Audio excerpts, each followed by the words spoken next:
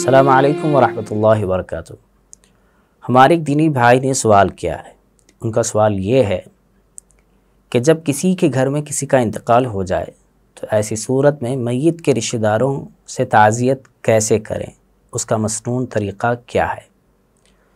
इसके जवाब में जाने से पहले आप हजरा से गुजारिश है कि ज़्यादा मुस्लिम शरिया हेल्पलाइन जो आपके सवालात के जवाब देने की कोशिश कर रहा है आपको किसी भी एतबार से इस्लामिक पॉइंट ऑफ़ व्यू से डाउट हो या अहकाम मालूम करना चाहते हैं तो ऐसी सूरत में अपना सवाल दिए गए नंबर पर स्क्रीन पर जो नंबर दिया जा रहा है उस पर व्हाट्सएप मैसेज टेक्स्ट के ज़रिए से या वॉइस मैसेज के ज़रिए से कर सकते हैं। हम कोशिश करेंगे इस बात की कि आपका जवाब जल्द अज जल्द आप तक पहुँच सके।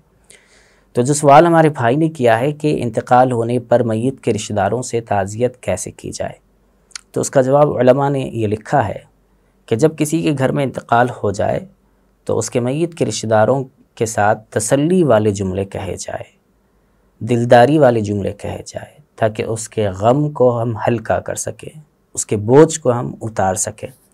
नबी रहमत सल्लल्लाहु अलैहि वसल्लम के बारे में आता है कि आप सल्लल्लाहु अलैहि वसल्लम ने अपनी एक साहिबजादी के बेटे के इंतकाल के वक्त में अपने नवासे के इंतकाल के मौके पर अपनी साहिबजादी को, अपनी बेटी को दिलदारी वाले कलिमात कहे थे और बोझ और मुसीबत को हल्के करने वाले अल्फाज का इस्तेमाल आप सल्लल्लाहु अलैहि वसल्लम ने किया था।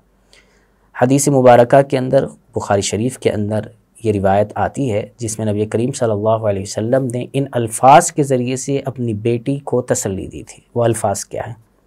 इन मा अखज़ा वलहू मा आता। व कुल्लुन इला अजली मुसम्मा फल तस्बिर वल तहतसिब जिसका तर्जमा ये है कि जो कुछ अल्लाह ताला ने लिया है, वो उसी का था। और जो कुछ दिया हुआ है, वो अल्लाह ही का दिया हुआ है। और अल्लाह के नज़दीक हर चीज़ की उम्र मुकर्र है। इसीलिए सब्र करना और अल्लाह के फ़ैसले पर राज़ी रहना चाहिए। ये वो कलिमात थे जो नबी करीम सल्लल्लाहु अलैहि वसल्लम ने अपनी बेटी को कहे। जिससे इंसान के ऊपर जो मुसीबत होती है, जो बोझ होता है, वो हल्का होता है कि जो चीज़ ली गई है, वो भी अल्लाह की है। जो चीज़ दी गई है, वो भी अल्लाह की है।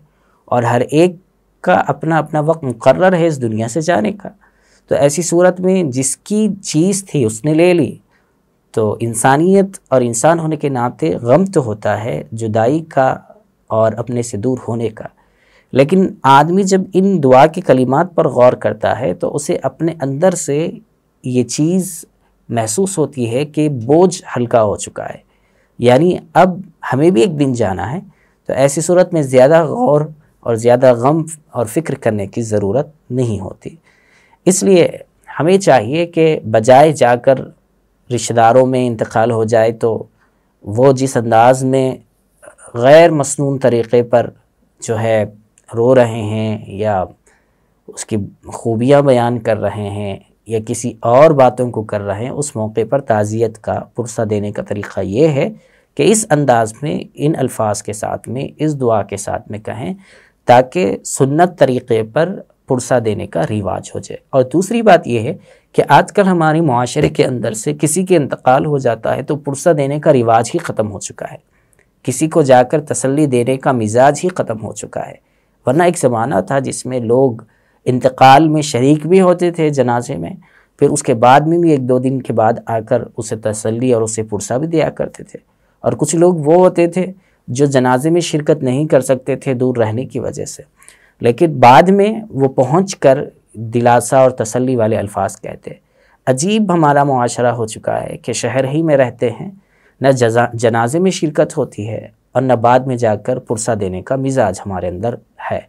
ये वो चीज़ें हैं जो इंसानियत को इंसानियत के खौल से बाहर निकाल रही है। इंसानियत को ख़त्म करने की कोशिश हो रही है।